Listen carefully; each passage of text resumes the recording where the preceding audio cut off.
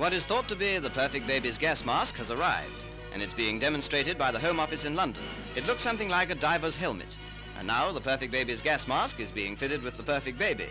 In goes a few weeks old youngster, and the lower part of the apparatus is strapped round his body. He takes it all lying down.